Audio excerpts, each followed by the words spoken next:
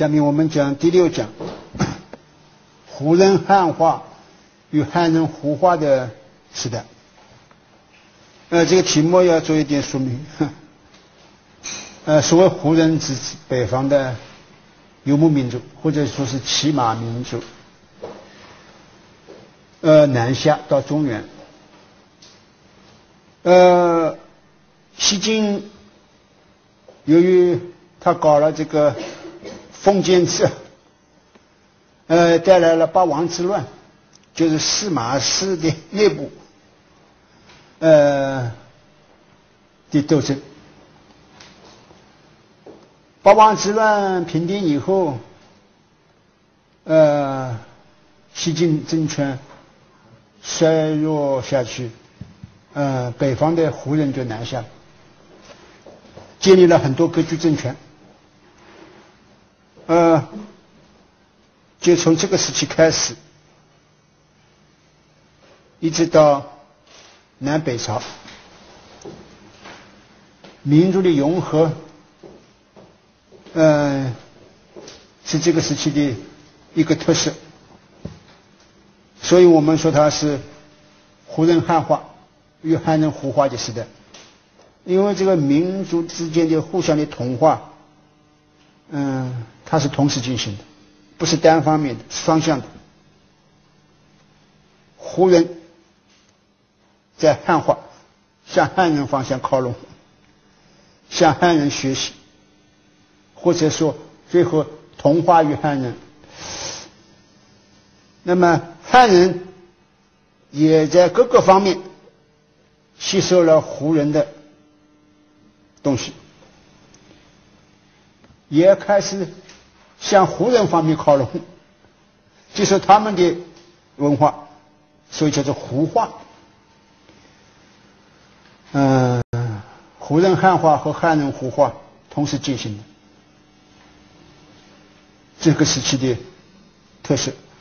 那么这个时期的另一个特色就是，呃，表面上看上去它是一个分裂时期，因为开始就是五胡十六国，五个少数民族。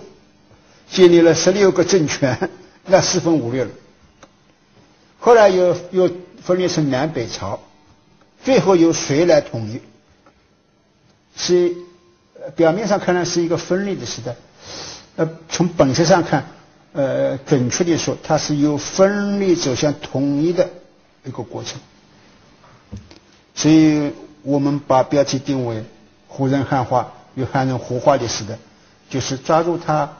互相同化的这一个特点，来着重的讲这个问题。呃，首先说五胡十六国时期的汉胡互化。汉胡互化就是把前面那个呃简简简约了，就是胡人汉化、汉人胡化，叫做汉胡互化。我们现在通常把非汉人叫做少数民族，呃，当时叫做胡人。当时没有这个少数民族的说法，就是胡人，呃，汉人以外的就是胡人，所以汉胡互化。呃，首先我们要说的是胡人的汉化，因为北方的游牧民族南下到中原，他要建，他建立了很多的政权。这个胡人呢，就是五胡，当时又叫做五胡乱华。就是五个游牧民族：匈奴族、鲜卑族、羯族、氐族、羌族。匈奴、鲜卑、羯、氐、羌五胡。嗯，入主中原以后，建立了很多割据政权。那么表面上看是胡人建立的政权，嗯，和原来传统的。中原地区汉人政权似乎是背道而驰的，呃，其实不然。嗯，他们入主中原建立的割据政权，他要长期的维持下去，他们有一个共识，就是你进入到中原，也就是进入到汉人聚居的地区，那你就必须。接受汉人的传统文化。这个文化是个大概念，包括他的生产方式和生活方式各个方面都要接受，并且为他所同化，你才能够站住脚跟。呃，在这个过程当中啊，儒学发挥了强大的作用。所谓的汉化，它主要的就吸收以儒学为代表的汉人的传统文化，以及这个传统文化所衍生出来的各种政治制度。我们通常把它叫做。汉化。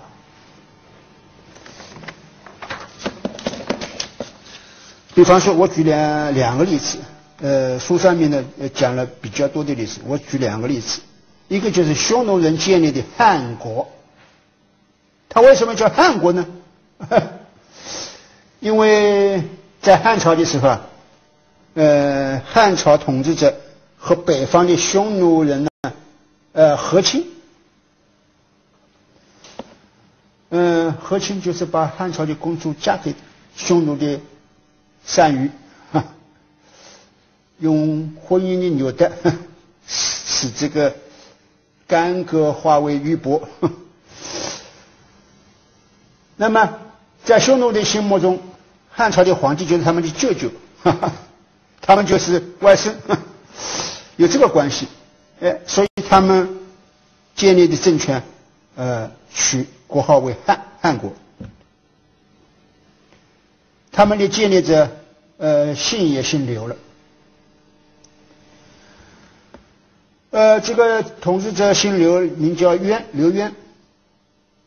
他非常的呃喜欢儒家的经学，聘请了经学专家来教他学习儒家经学。因此有这样一个嗯。深受儒家经学影响的匈奴人建立的国家的国君，他当然他所有的政策都会从这方面出发，呃，所以呃汉化的呃色彩是非常的浓重的。另外一个例子，晋人建立的赵国，他的建立者是叫做石勒。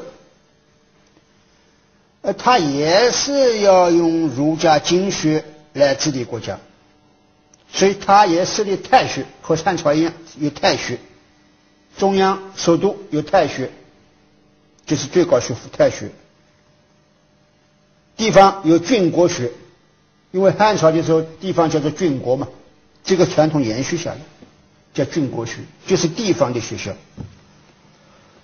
呃，这个太学和郡国学汉朝都有。它主要的课程就是就是儒家的经学，因此他用经学来培养人才、选拔官员。那么，呃，若干年以后，他整个的统治者的群体就逐渐的被汉化，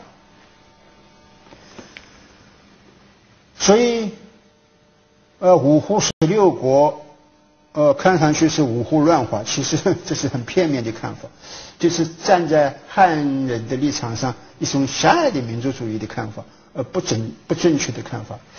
呃，其实呃，中华民族本身就是一个民族的大家庭，互相融合的结果，不断的融合的结果。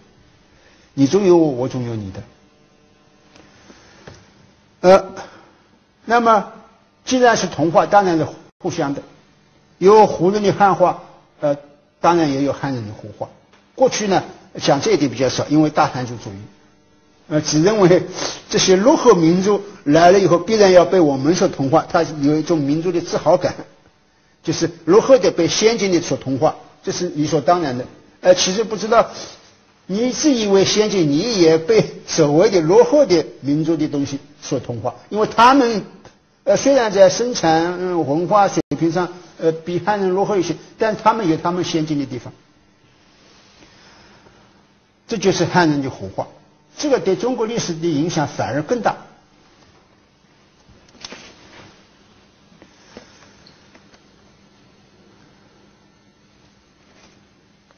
呃比方说吸收胡人的生活习惯这个过程啊很漫长从东汉后期开始就已经开始了东汉后期。因为已经有有交往，那么达到高潮当然是五五胡十六国时期和后来的北朝时期，因为北朝也是由呃少数民族，就是所谓的呃游牧民族、骑马民族建立起来的鲜卑人嘛，呃，可以追溯到。呃，东汉后期，所以东汉后期的皇帝啊，已经表现出对胡人的生活习俗的一种喜爱。呃，《后汉书》的五行志里面，呃，讲到这个有一段话，这个书的八十二页，呃，倒数的第八行就提到。《后汉书·五行志》写道：“灵帝汉灵帝，好胡服，好喜好的好，不是好坏的好，好胡胡服，胡人的服装，胡帐，胡人的帐篷，胡床，这个不是睡觉的床，是胡人的座椅，胡坐，胡人的做法，胡饭，胡人烧饭的时候做法，胡箜篌，一种乐器。”蝴蝶也是一种乐器，胡舞，胡人的舞舞蹈。因为皇帝提倡于上，所以达官贵人都纷纷的效法，所以叫做京都贵气皆敬畏之。首都的达官贵人都都来喜欢胡人的服装、胡人的帐篷、胡人的座椅、胡人的做法、胡人的饭食、胡人的乐器、胡人的舞蹈。等等，你看涵盖生活的各个方面，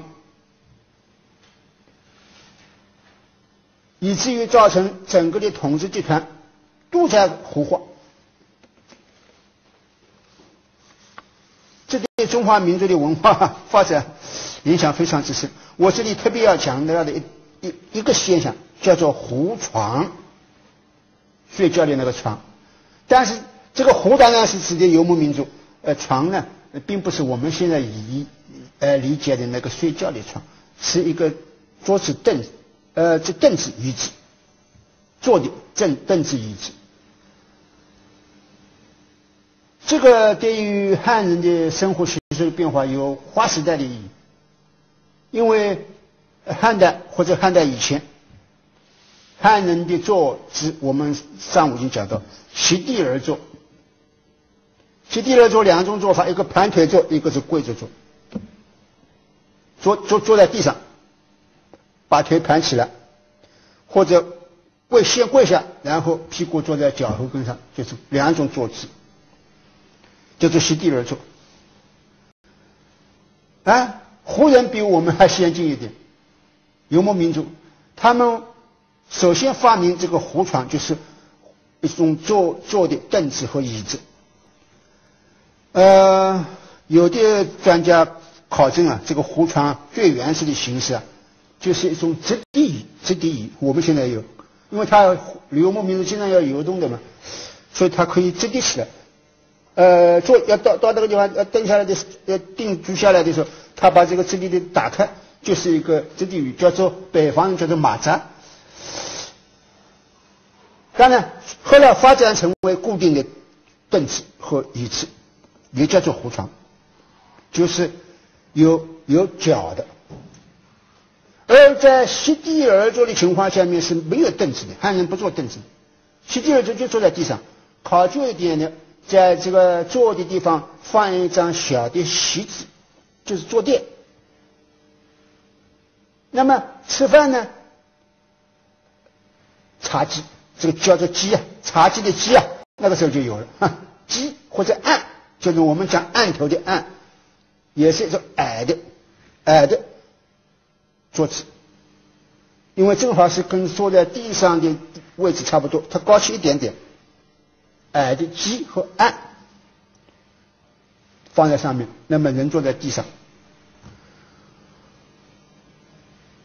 这个胡床传进来以后啊，从北而南传到全国，大家感觉到这个方式比七地而坐要好，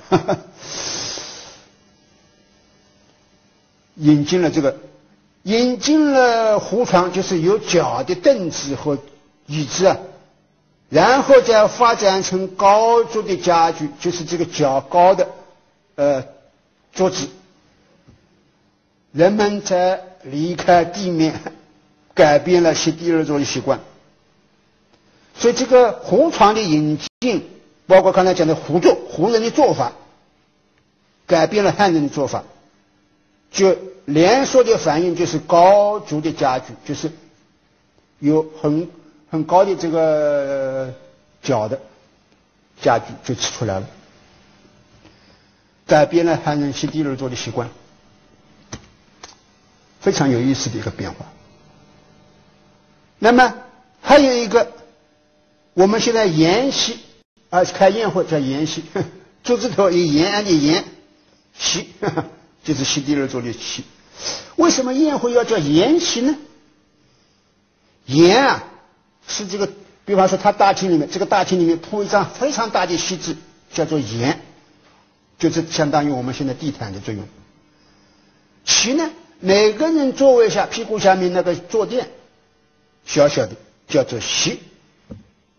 那开宴会就是这样，那么每个人前面放一个矮机，这么高的一个像茶几一样，呃，把吃的东西都放在这个矮机上，而用不是这样高的桌子，因为它没有凳子，这叫做筵席。后来席地而坐的习惯取消了。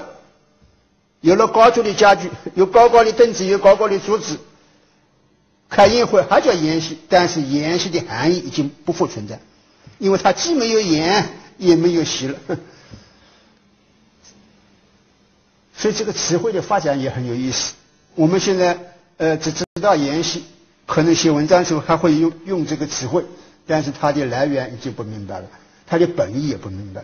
我们从这个胡汉人胡话里面，我们可以追溯到它的根源，呃，它是这样的：为什么叫筵席？因为席地而坐，地上铺一个筵，每个人屁股下面有一个席，哈 哈面前有个矮矮的矮机。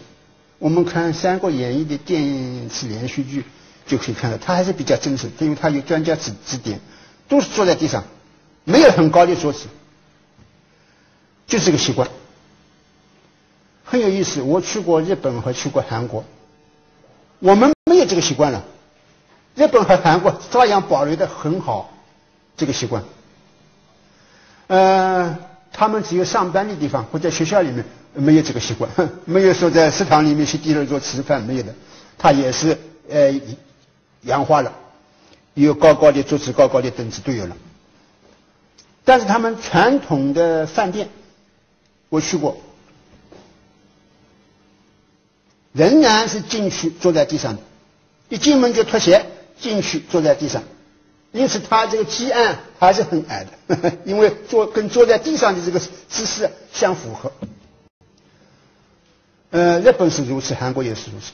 越是高档的传统的日本料理店，越是席地而坐。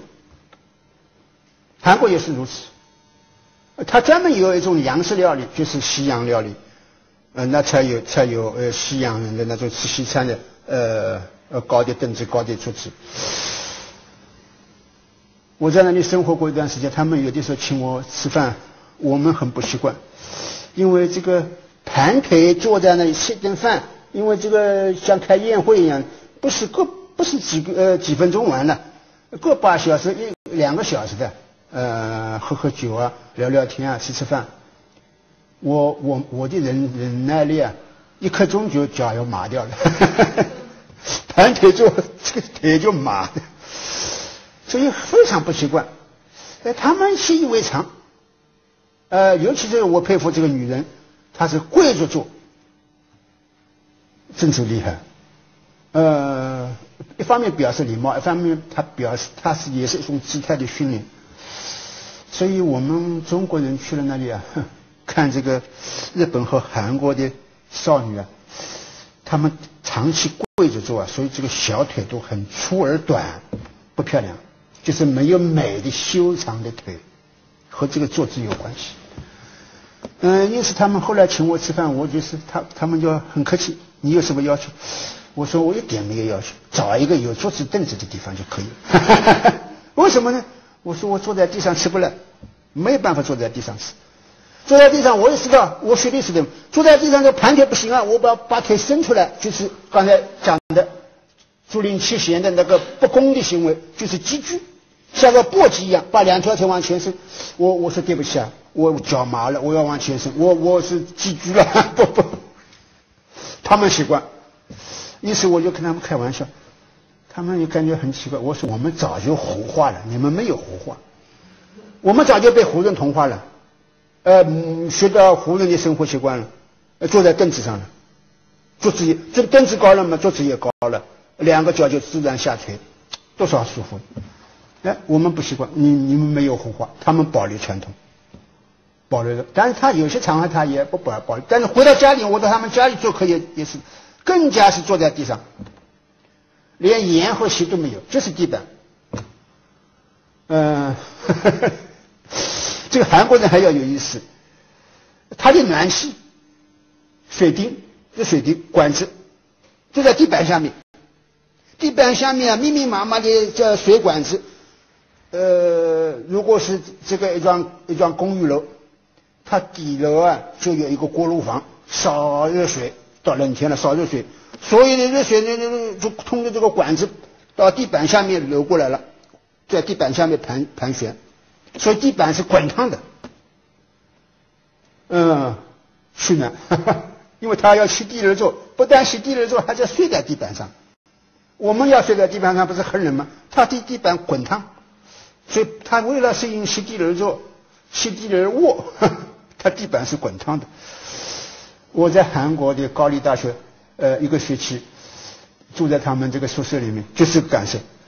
嗯，正好冬天，外面下着鹅毛大雪，房间里面温度高得很。嗯，洗完澡以后只要穿短裤汗衫就可以了。啊，外面在下大雪，我估计大概三十度以上，室内温度，这地板这么滚烫，他就是为了这个，呃，吸地热坐、吸地热卧的习惯，而而做的一。一套配套的，保证地板滚烫，你没有问题。呃，我们是实在不习惯，光脚在地板上感觉到烫，必须穿拖鞋。在地板上坐着，必须要有垫子垫起来才行。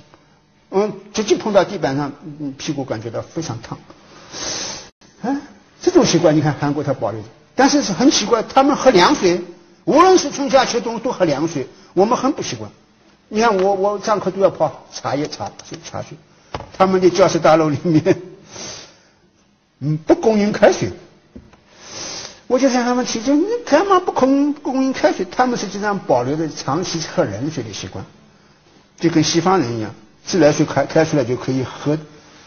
我说我要泡茶嘛，没有，他们教授自己的办公室里面有电壶。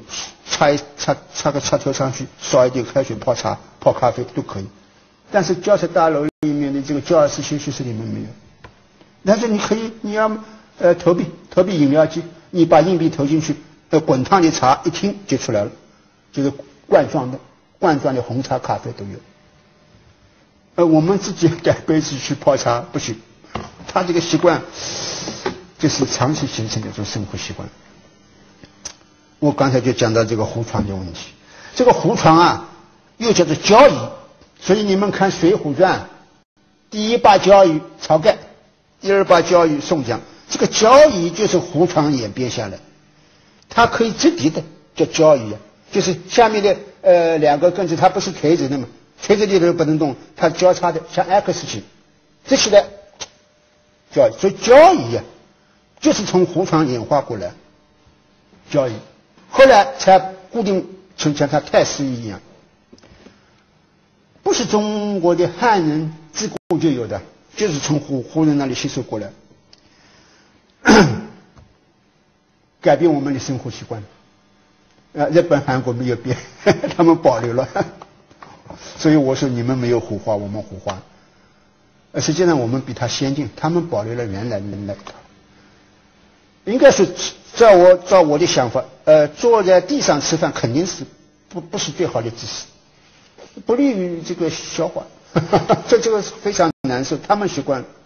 另外还有，呃，《齐民要术》，北魏的人写的一部农书《齐民要术》，里面讲到，呃，当时的中原地区的汉人吸收到的。胡人的生活习惯的一些东西啊，有什么呢？胡饼，胡人做的饼就是我们所谓的大饼，就是有芝麻的，一面有芝麻的那个烧饼啊，就他们那里来。呃，比方说烧烤，他们那里来，这是游牧民族的特点嘛？烧烤，它吃很简单嘛。还有奶酪，毫无疑问是。游牧民族传过来的喝奶酪，我们以为是呃欧欧洲西方人有奶酪呃传过来，不是，我们自古就有，就是我们北方的胡人带过来奶酪。呃，除此之以外，还有胡人的语言、胡人的歌曲、胡人的音乐、胡人的舞蹈、胡人的戏曲都流行。嗯。比方说，很有名的《敕勒歌》，天苍苍，野茫茫的，是吧？那个歌本来啊，就是胡人的语言唱的歌。后来胡人进入到汉人地域以后，把它翻译成汉语了，就是我们所说的“天苍苍，野茫茫，风吹草低见牛牛羊”这个歌，就是吸收了胡语、胡歌都吸收了。那么，呃，乐器很多都带有胡的，都是都是他们来的。胡琴为什么叫胡琴？就是胡人。呃，胡人的舞蹈，包括到后来到唐朝的时候，更加蓬蓬勃勃，发展到 顶峰。嗯，这个时候就是这样一个情况。我们现在很多民族乐器都是胡人拿拿来的。胡人那里过来，刚才讲到呃空河啊什么的，呃都是他那里来的，所以这个汉人的胡话实际上比胡人的汉话影响更深、更深远。那么刚才我们讲到胡人的汉话的时候，我们没有深入的追究这样一句话，呃，就是这个魏晋南北朝时的专家。何志全讲的一句话，呃，非常好。他就分析，呃，胡人的汉化的根源，嗯，为什么会发生？就是八十二页，呃，中间，呃，第三自然段的第二行，这个魏晋南北朝史专家何志全说，西晋末年，随着士族上层的渡江南下，就是西晋末年啊。呃，因为五五胡十六国时期的北方动乱，西晋的统治集团南下，就在南京建立了东晋。那么西晋就自然瓦解了，呃，建立东晋。那么西晋的统治集团呢，就纷纷渡江南下，到了南京和江南地区。所以他这个讲法呢是这样子的：就是西晋末年，随着士族上层的渡江南下，当然他们头脑里的玄学也被带过江去。因为当时玄学嘛，玄学是以道家思想来解释儒儒家经典，所以是道家思想的东西。他们这些士族南下带过带过去了。那么原先影响甚微的经学士族留在北方，因为经学在那个时代不受重视了，衰微了，哎，这些人没有势力了，呃，他们留在了北方。哎，恰恰是他们。保持着汉朝经学重礼仪的传统，把经学的传统在他们那里保学保留下来。北方，而胡族政权武力占据北方，要立国中原，必须熟悉儒学传统，崇尚中原文化，以汉法治汉人，就是用汉人的呃传统文化、呃政治伦理来治理汉人。那么他说，所以说，吴胡族君主与汉人氏氏族在这种背景下进行了卓有经济成效的合作，儒学显示了强大的生命力与同化作用，这是非常准确的，呃，描述了这个汉胡胡化当中这个胡人汉化中间这一个原动力，是重要决定性因素的，呃，精髓，儒家的精髓。南方当然是。呃，因为北方的士族统治阶级南下，把玄学带到南方去了。呃，北方剩下来的恰恰是以前不受重视的经学，这个经学起了很大作用。我我们做学生的时代，我们历史系的一位教授周雨彤先生，上次我提到过的。他给我们讲中国经学史，他非常强调这一点，说中华民族之所以不能、不可能被外来民族所同化、所灭亡，儒家的经学起了至关重要的作用。它只可能同化外来民族，而绝不会被外来民族所同化。这一点啊，你无论如如何估价，啊都不会过分。呃，这是第一个问题。第二个问题，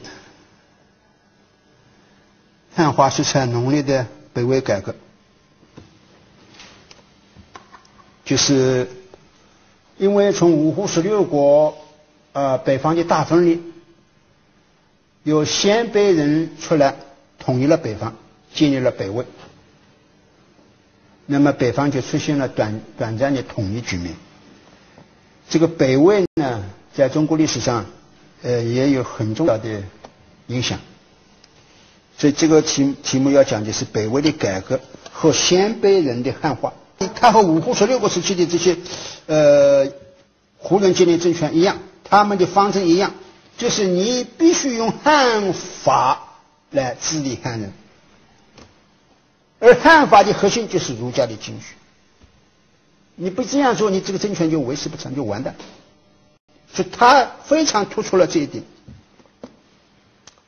北魏的改革和汉化改革就是围绕着汉化来展开的，所有的改革措施就围绕着汉化来展开。两个阶段，第一个就是文明太后冯氏，他的改革，也就是以汉化为核心的改革。是北魏汉化的第一步。呃，无论是从哪一个方面的措施，都离不开汉化。比方说，第一，他颁布官吏的俸禄制度，就是官吏发薪水。以前鲜卑人处在比较落后的社会形态的时候，他是没有薪水的，没有俸禄的，就是我所谓的供给制。不是新新机制，但是这个制度有很大的弊端，容易造成腐败。他如果在北方草原地区是没有问题的，因为那个物质极度的匮乏。进入了汉人地区，很富庶的地区，他不可能再保留原来那个，他因此他必须规定，按照官吏级别的高低来发给相应的俸禄。同时规定，除了俸禄之外，你如果有贪污，那么年惩不贷。这就是汉化，因为汉人地区的他有俸禄的，和他的品级高低有关关联。嗯，第二，颁布均田令，就是实行均田制度，从北魏开始，一直延续到了隋唐。这个均田制度呢，不能从字面上来理解它，因为“均田”两个字很容易看到是平均 分配土地的意思，呃，其实不是，呃，它是这样的意思，因为经过大动乱以后，很多农田荒芜了，那么为了使这个社会安定下来，首先要恢复农业生产，那么他就呃颁布一个政策。就是按照劳动力，呃，来来把这个荒地啊，或者叫无主的土地啊，呃，进行分配。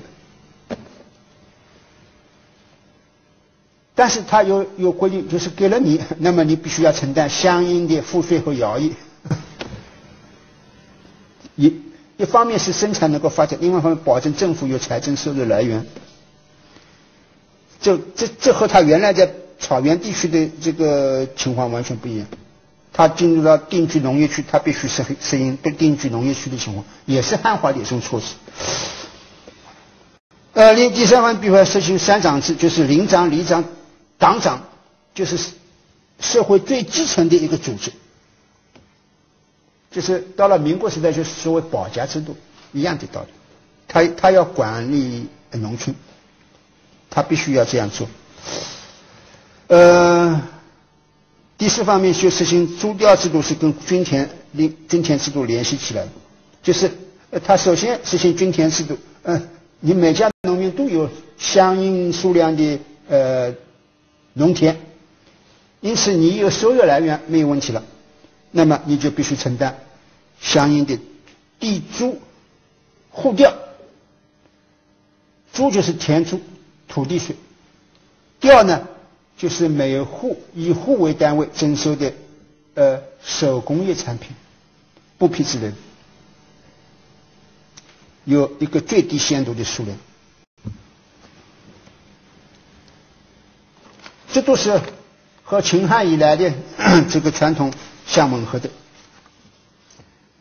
这个文明太后冯氏非常了不起，她她不是鲜卑人，她倒是汉人，因为社会动乱嘛，嗯，一个偶然的机缘 到了鲜卑人那里，呃，慢慢的成了皇后，以后又成了太后，而且这个人是可以说是可以和武则天相媲美的铁娘子，比武则天早出现的铁娘子，铁腕人物。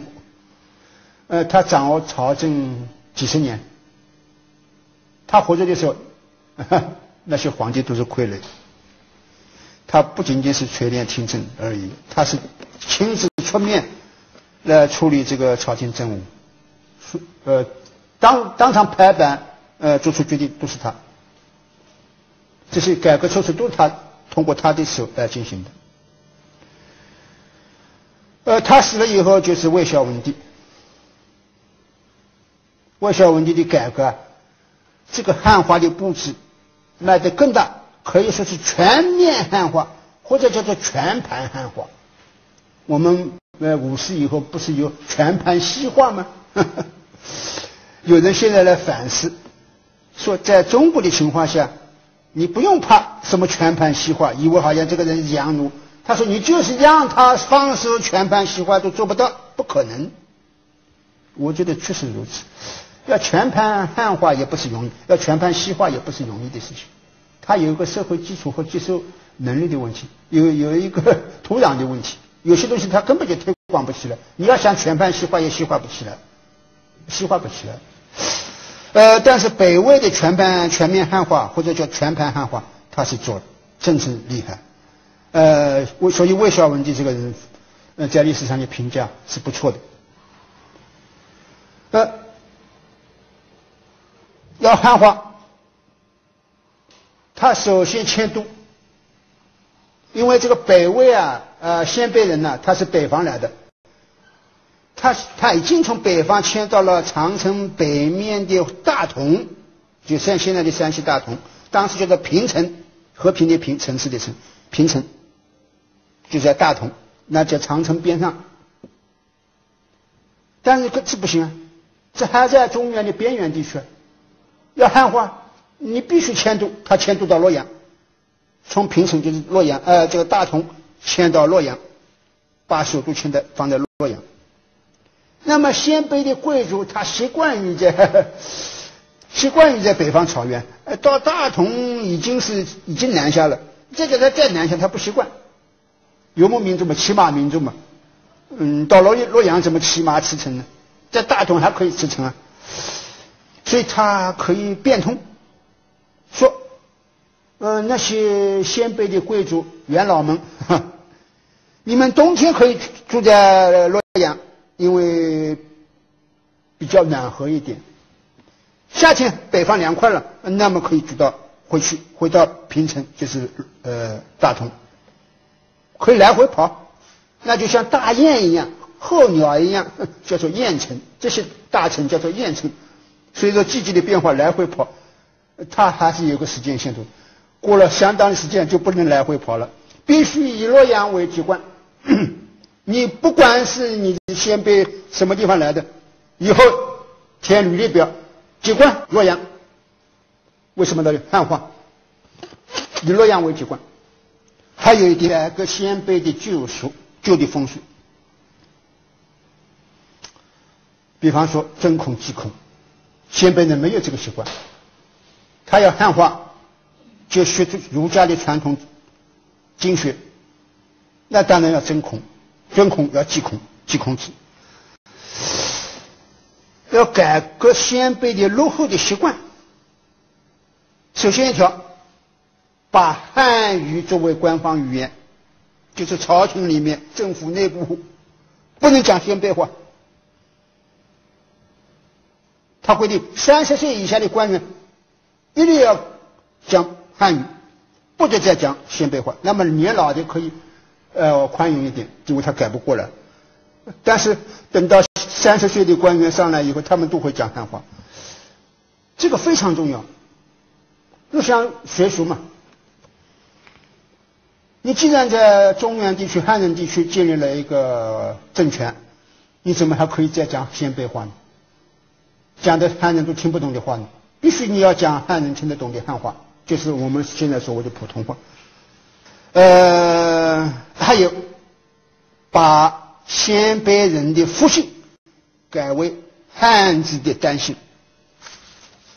一个重大的举措。鲜卑的皇帝姓拓跋，两个字的拓跋，改为元，元旦的元。呃。他带头，哈 哈那么其他的人一起改，全部改。你比方说，魏孝文帝叫拓跋宏，他就把拓跋改掉，变成元宏。那么皇帝一改嘛，全部要改了。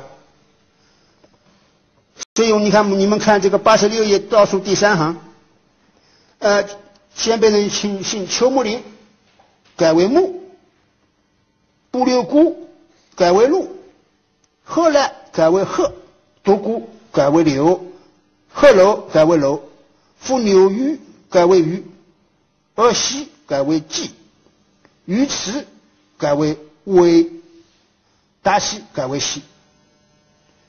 这个鱼池的时候啊，他必须鱼，不能维持维持功鱼鱼池公，但是变成单姓的，他就变成微，未见形的微。所以有这些姓的人啊。很可能他们的祖先就是鲜卑人，改的汉姓。是这是什么意思呢？汉化呀，就是使得周围的汉人看不出他们原来是鲜卑人，全盘汉化。刚才我们讲到这个鲜，呃，魏孝文帝改革鲜卑的旧俗，全面的汉化，嗯。第还有一个措施，叫做鲜卑的门阀化，什么意思呢？因为中原地区啊，呃，有门阀氏族，就是说，呃，大家族，有门第很高贵的大家族。那么，比方说，最有名的崔、卢、王、郑大家族，姓崔的、姓卢的、姓王的、姓郑的。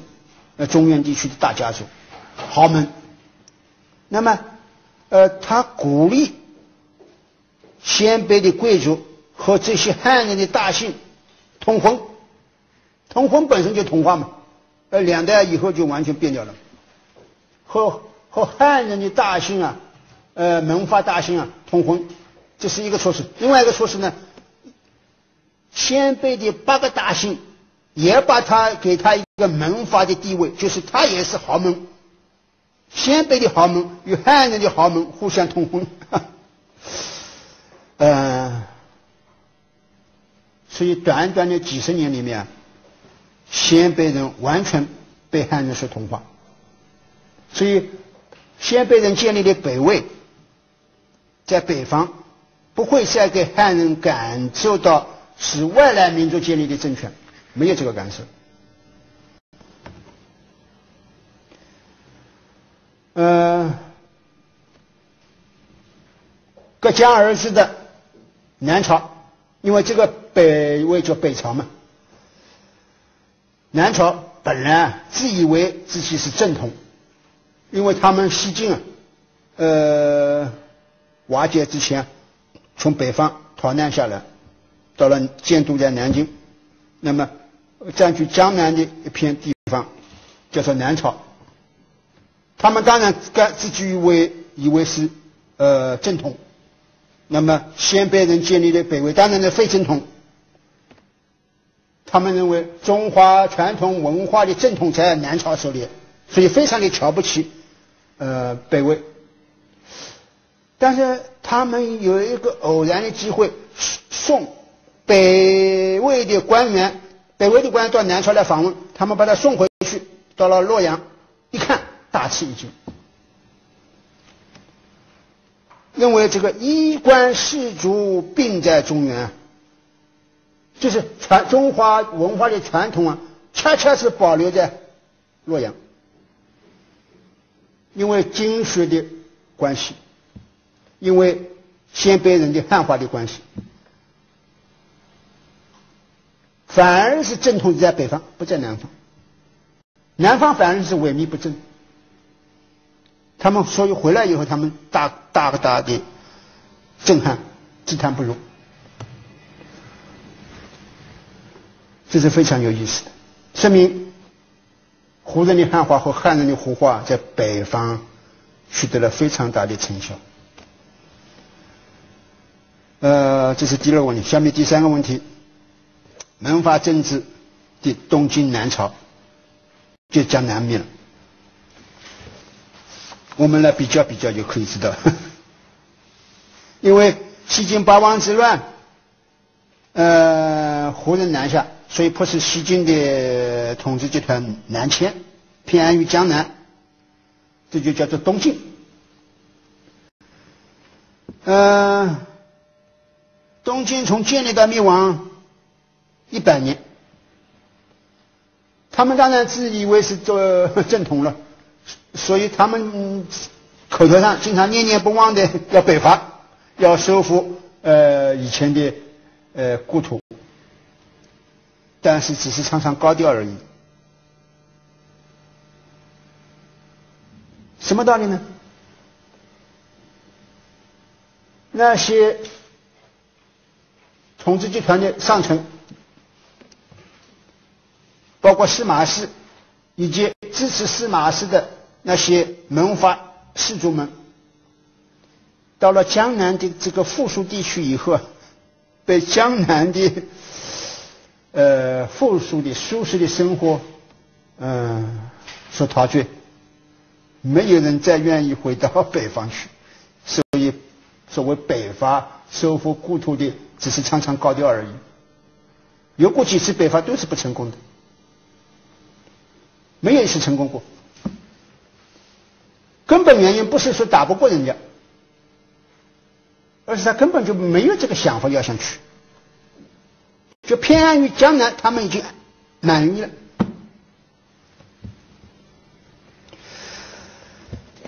嗯，所以这个东晋和继承东晋的就是所谓南朝，南朝就是宋齐梁陈。那么还有一个称呼叫做六朝，六朝呢从三国开始，吴孙权的吴，加上东晋，加上南朝的宋齐梁陈，一共六朝。都是在南方的，都是偏安江南的。吴、东晋、宋齐梁陈，南朝我们本身就叫宋齐梁陈，四个朝代，首都都在南京，当时叫做建康，号称六朝金坟之地。金坟之地什么？就是。嗯，萎靡不振的地方，享乐腐化的地方，不是一个好的称呼。金坟之地，生活很富庶，也很悠闲，但是萎靡不振。这个萎靡不振的最根本的原因，就是它是门阀政治。什么叫做门阀政治呢？门阀两个字啊，门就是门第，阀就是阀狱，阀院。呃，但是解释的还是听不懂，什么叫门第阀院？门第讲门第的高低，阀院讲这个家世的背景。啊，通俗的说，就是一个讲究门第等级的社会。一个讲究门第等级的时代，不光是门第，还有一个，还有一个衡量人高低的，叫做地望，土地的地，希望的望，地望专门就属于什么呢？就是你的籍贯在哪里。这个也是衡量人这个身份高低的一个很重要的呃参照器。一个是门第，一个是地望，两个加起来。哎，很奇怪。比方说，东晋最有势的大家族就是姓王的三横一竖的王王家，所以叫做王与马共天下。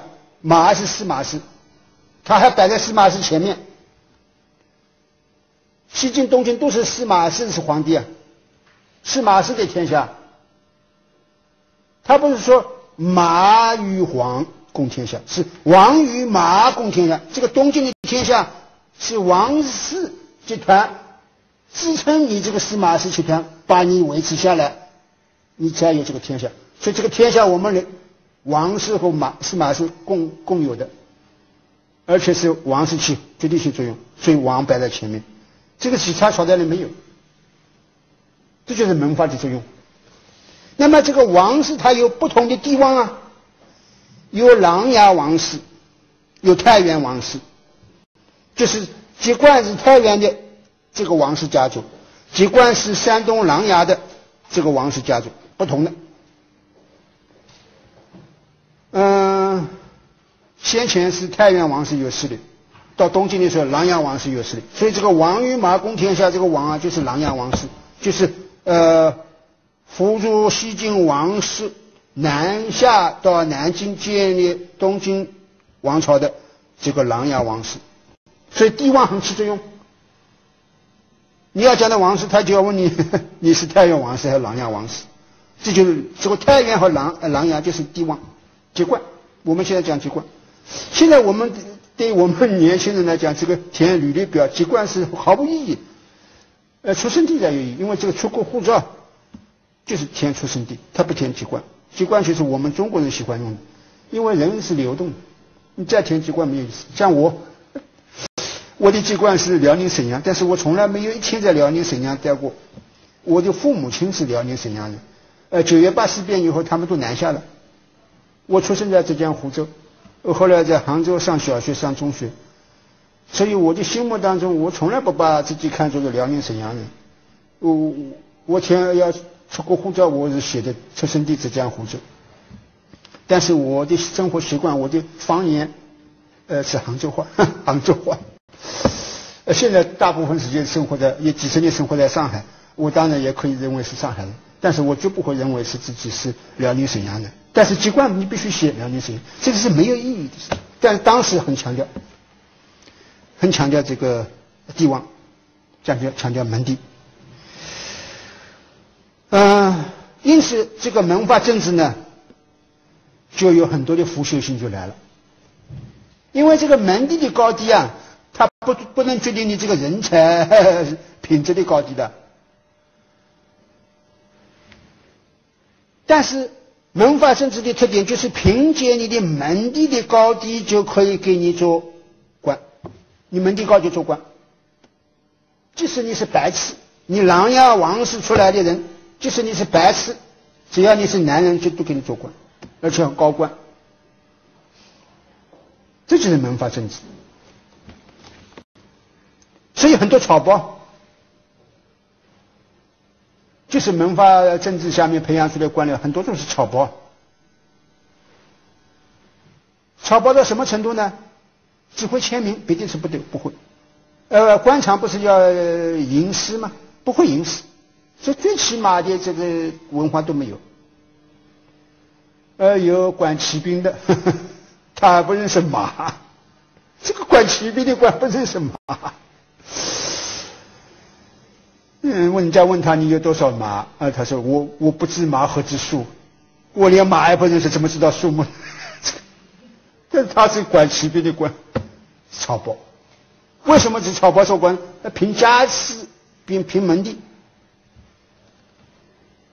这就是门阀政治。所以这个南朝没有东晋南朝没有出息啊。那么，因为是做官要讲究门第，讲究地望，因此那个时代非常重视编家谱。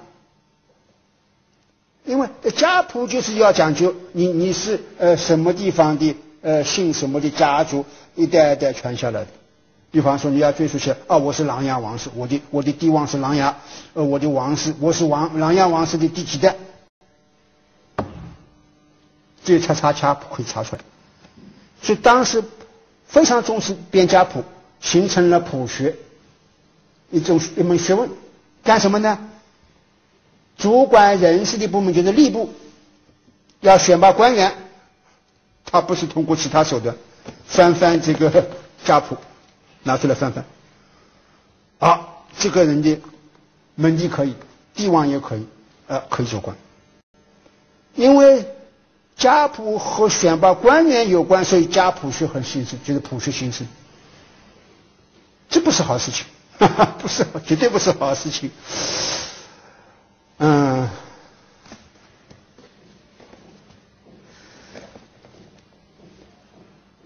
东晋如此，特别明显。南朝呢有一点变化，就是门阀政治开始走下坡路了。为什么道理呢？因为南朝的宋齐梁陈的开国皇帝都是军人，都是军人武武，用凭借武力打天下的，他也不是 门阀士族，没有显赫的门第，也没有什么显赫的帝王。那皇帝如此，他当然要任用他的大臣，以能干为主。是看他这个虚的 门第和帝王，所以南朝出现的历史学家叫做韩人掌机要，韩人啊，就是出身贫寒的人，掌握了机要部门，这是南南朝的特点，就他已经冲破了门阀政治的这道界限，因为皇帝出身于行伍嘛，丘邦嘛。那么贵贵这个官员当然是不从贵族里面挑选，不从门阀里面挑选，是老百姓普通老百姓里面挑，只要能干就行。所以开始冲破了门阀政治的界限，但是门阀政治啊，余味长还还存在。有些人啊，呃，出身寒门，做了高官了，他还是要向皇帝提出的。是不是可以可以？你请你帮帮忙，我可以高攀一下那些门阀，我跟他们联姻。这皇帝说：“这个我办不到，你要跟他们自己去商量。你跟他商量，他肯定不接受，就叫门当户对。他们这个门当户对就是讲的门第，崔卢王郑互相之间可以，王跟崔。”卢跟正可以，啊，诸如此类的。你如如果呃下面很低的要高攀上，那就叫门不当户不对，就是这个所谓门当户对，就是讲门第。人说了高官也，他想要这样做，皇帝他说我也没有，这个皇帝我说我没有没有权利决定，你跟他自己商量，商量肯定商量不通，说明即使在文化政治走下坡路的南朝。它余威尚存，这个东西一直要到唐朝到武则天时代才彻底扫荡。武则天的贡献在这点上有贡献。这是第三个问题，下面讲第四个问题：谁统一帝国的再建。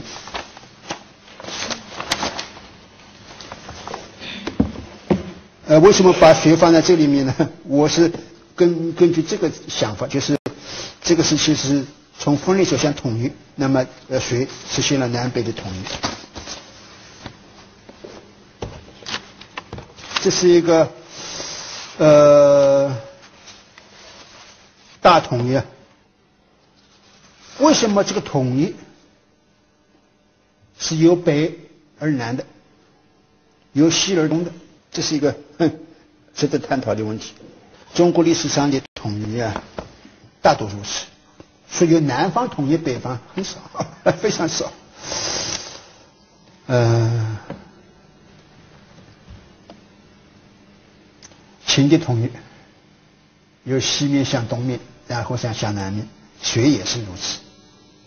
那么南北朝就是对立了，北朝和南朝对立，为什么不是由南朝去统一北方，而是由北朝来统一南方？就是刚才我讲的已经讲出来了，呃，北朝恰恰是呃体现了。中国传统的那些东西在那里，而南朝不是，所以由北方来统一，这是顺理成章的事情。另外，呃，隋朝的建立者隋文帝杨坚，他是北周的贵族，光是不不光是这一点，他本身是汉人和鲜卑人的混合。混血，混血，血统的混合，所以他身上既有汉人的血，又有鲜卑人的血，所以他本身就体现了汉胡互化的一个呃存在者，他本人就是汉胡互化的结果。因为我们刚才谈到鲜卑人，呃，为小文帝提倡呃鲜卑人和汉人通婚吗？是这个结果。所以他身上有汉人胡化、有胡人汉化的双重色彩，有这种人出来统一呢，嗯，比较合适。而且他又是北周的贵族，那么谁是北周的延续？他并不是用一种战争的暴力的手段来取而代之，他是。北周的军事贵族，呃，慢慢的控制了北周的最后的皇帝，嗯，然后一很很水到渠成的就把这个周改掉了，变成隋了。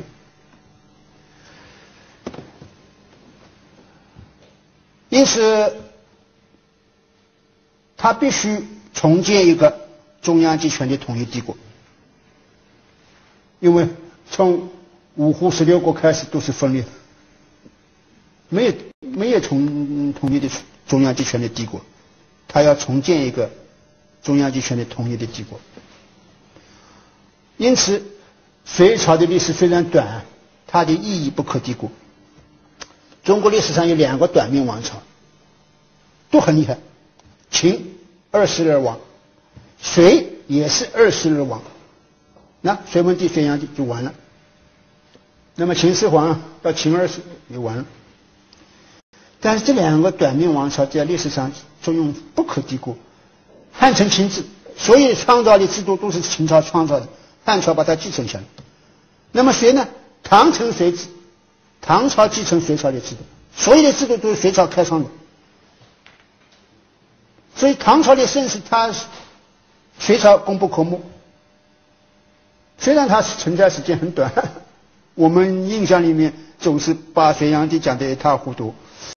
好像这个隋朝不行，他有很多创造的，特别制度上的创造，呃，为唐朝的统一大帝国奠定了基础。比方说，中央政府就是帝国体制的中央政府啊，他创立了一个体制，叫做三省六部，三省六部。这个体制被后来唐朝继承了。三省就是中书省决策机构，门下省审议机构，尚书省是行政机构，就是中书省决策，然后放放到门下省来讨论，他审核一下行不行？不行，你再重新搞。行了，交给尚书省来执行。这就是三省。那么三省下面有六部，这个六部制度啊，不光是唐朝继承，一直到清朝都有。主管人事的吏部，主管礼仪的礼部，主管军事的兵部，主管司法的刑部，主管财政的户部，主管建筑的。工部六部，三省加六部就是中央政府的体制，跟西西周的三公九卿不一样，哈哈，不一样，它叫三省六部。唐朝沿沿用了，后来这个三省呢，虽然到了宋元时代，嗯，逐渐演化，但是有中书省，元朝有中书省。说明这个合理的东西被后来呃继承。那个省是中央的 机构的名称啊，我们现在不用，日本用，朝鲜和韩国都用。朝鲜外交部叫外务省，财政部叫大藏省，这是唐朝传过去，他们吸收唐朝的文明，他保留下来了。呃，中央政府机构叫做省，我们不叫了，我们地方行政机构才叫省，哈 哈这是元朝的发明。元朝的发明，元朝把地方的行政机构叫做省，但是呃，隋隋朝的时候把中央政府的机构叫做省，三省。我们后来不沿用，到元朝中书省用了以后，呃，明朝的时候朱元璋就把中书。看到这个胡惟庸，嗯，呃，非常的专横跋扈，把他杀掉以后，就把中书省取消掉，以后就没有了。这是一个昌局，三省六部制度，从帝国的中央政府体制，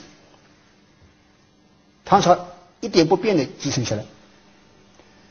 第二个，帝国的文官考试制度，科举。这个科举制度啊，西方学者佩服的佩服到五体投地，因为从隋朝就开始，一直到清朝，没有间断过，只有元朝间断过一段时间，因为蒙古人啊，他不重视科举，从隋朝建立了科举科举制度以后，再没有间断。他们认为就是西方的文官考试制度的滥觞。但是西方的文官考试制度很晚才出现，中国很早就有，就是选拔官员通过考试来选拔。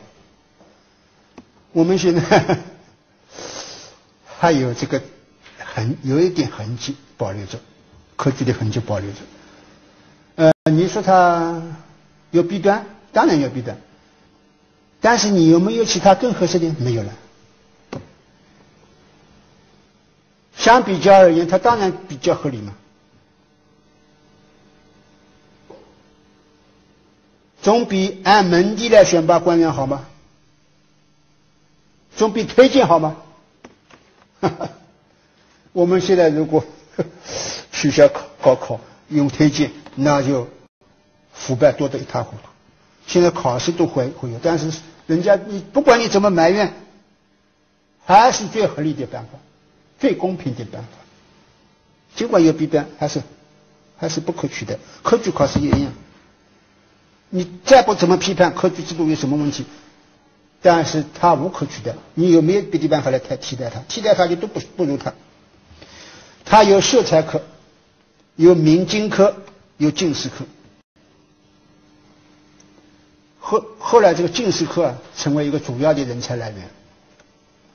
所以后来明清时代的科举考试，呃，都是选拔的进士，进士及第。嗯，这是第二个创举，沿用了很多年，也是被西方学者所佩服的五体投地的文官考试制度。中国很早就有。第三个是人口管理制度，就是户籍。我们现在户籍制度稍微放松一点，但是也没有完全放松。什么道理？大学毕业生如果是上海籍的，找工作容易一点；外地的，对不起，很麻烦。这是户籍制度的问题。现在现在虽然你说户籍不再重要了，但它还是有这个概念在里面。为什么上海籍的容易找工作，在上海容易找呢？那不是你没道理，你讲出什么道理来听听啊？就是户籍问题。呃，人口管理制度这个户籍啊，中国历来重视。什么道理呢？他人人头啊有税，而且人的税呢。和年龄有关，所以他把人划分的很仔细，黄、小、中、丁、老五种五五个阶段。三岁以下叫黄，三岁到十岁叫小，十岁到十七岁叫中，十八岁到六十岁叫丁，六十岁以上叫老。那么丁就是壮丁了，就成年劳动劳动力，所有的负担向他征收，丁。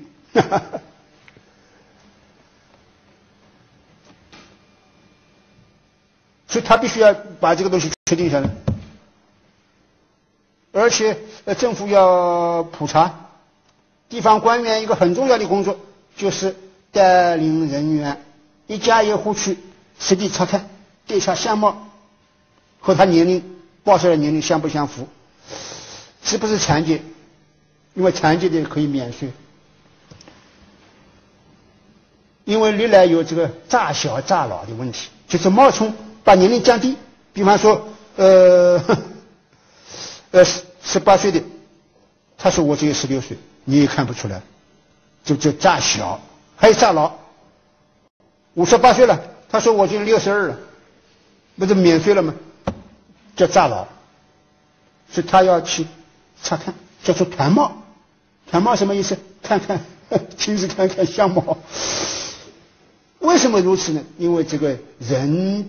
的年龄等有关因素和赋税徭役相关，和国家的财政有关挂钩的。我们现在没有这个问题，所以不必斤斤计较年龄。这个户籍制度啊，呃，非常有意思。它于是乎会形成一个非常系统的人口调查，呃。敦煌吐鲁番文书，就是在敦煌和吐鲁番出土的死者的文书，那个时候已经有指了。呃，官方的文件在沙沙漠里面，嗯，文沙漠的废墟里面，呃，发掘出来，坟墓坟墓里面发掘出来，因为它那个地方干燥嘛，所以不会霉变嘛，他可以看到有人口的呃普查。这也引起西方学者的震惊，因为西方要到近代社会才有人口的普查，有有有人口的相关的数据。嗯，宋代以后，因为重重视这个问题，所以每一个朝代都有人口的普查，就跟这个有关。呃，第四个方面叫做帝国的控制体系，运河。因为他的首都在洛阳，那么他要控制全国，水上交通是最好的，所以他搞一个运河体系啊，是一个喇叭状的，向东北方向一发散，向东南方向发散，从汇合到洛阳，这样的喇叭状了。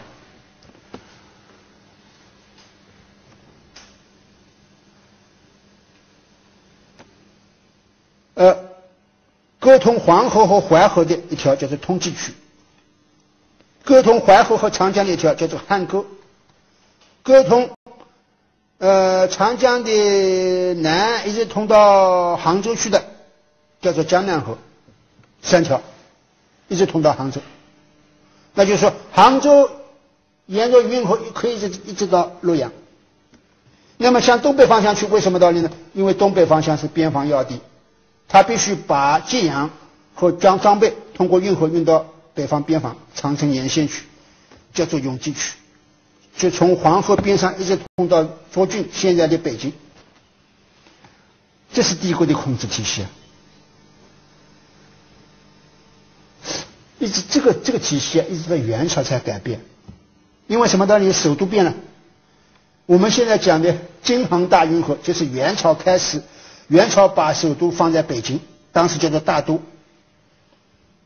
那么他必须把这个运河拉直，本来是这个喇叭状，他必须拉直一条直线，南北向的一条直线，就是从杭州一直到北京。那么因为是喇叭状的，那个喇叭缺口的地方，就是正好是山东一一段没有，在山东一段开一开，然后到了北京这个地方。要把这个运河通到北京城里面，就是通到什么地方？现在的积水潭、什刹海，北方运送漕粮的船一直可以通到什刹海那个地方，漕运码头，元朝可以做到，就京杭大运河，就通到首都的 首都北京的腹地，北京的中心部，这是我们现在理解啊，理解不了。当时确实是一个经济命脉，因为它没有其他的更好的呃交通方式，就是水运。隋朝的时候，它是首都在洛阳，它它正适适合于洛阳这个为中心的运河体系。呃，后来呃，因为要批评隋炀帝。说隋炀帝为了要到扬州去游览，所以开通了到扬州去的运河。这个是呃无稽之谈。呃，他当然开完以后才去玩的嘛，呃，不是说我要去开要到扬州去玩。扬州是呃一个非常繁华的地方嘛。嗯，他去看看下江南，为为此目的开运河不是？他还是为了帝国的控制，就是军事上的控制和经济上的控制，呃，加强东南财富之地和首都的联系，加强北方边境和首都的联系，而开起来的。我们以往对隋朝的评价不高，有偏见，什么道理呢？因为隋朝很短命，唐朝把它推翻了。那么隋朝的历史，唐朝人唐朝人写，唐朝人写隋朝的历史，不会给他有好评。呃，鲁迅先生曾经讲过，说这个王朝的寿命长啊，呃，历史对他的评价就好。什么道理？他自己写自己的历史，他后来的皇帝写前面的皇帝，他就把历史都写好了。你朝代历史短，就是新朝代来写他，新朝代是他的对立面，他把他推翻了。他当然要说，我取代你是很，呃，顺理成章的，是名正言顺的。嗯，你怎么不好，怎么不好，怎么不好，所以我要推翻你。那么短命王朝都没有好话，就是这个道理。隋炀帝就没有好话，也这个道理。其实隋炀帝倒是一个人才，并不是蠢才。嗯，他非常有文学才华，也会写很好的文章，也有鉴赏能力。呃，品评呃什么诗写的漂亮，他都都都有眼光。嗯，而且隋朝很富啊。马端林写文献通考，有一句名言：“古今国际之富，莫如水。”他是宋元之际的人 人评价。嗯，从后代人来看，那么。他这个立立场就是宋以前来说，从宋以前说，说古今国际之富莫如水，就是从他那个时代往前面推，他说，嗯，没有一个朝代比过隋朝富嘛。啊，这个奇怪了，呃，怎么很短就亡掉了？马二世就亡掉了？怎么他是很富的呢？啊，确实很富。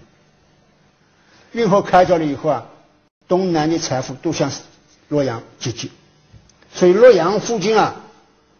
周边地区啊，大量的仓库建造，粮仓还有放布匹的、放其他的东西的仓库，等到隋朝灭亡了，唐朝占领了这些地方以后，他们打开来看，说这几十年都用不完。他并不是因为贫穷而 而垮台的，什么道理呢？暴政。嗯，富了以后得意忘形，发动侵略朝鲜的战争，那个那个时候叫高丽，打高丽。呃，第一次打什么面子完全没有了，那什么小小的高丽都打不过，呃，再发动更大的军队去打，把这个面子捞回来。